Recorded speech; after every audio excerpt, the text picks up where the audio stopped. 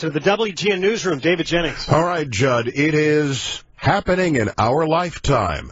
The Cubs are going to the World Series. They just shut out the Los Angeles Dodgers at Wrigley. The final five zip. Again, the Cubs are going to the World Series, their first visit since 1945. Judd?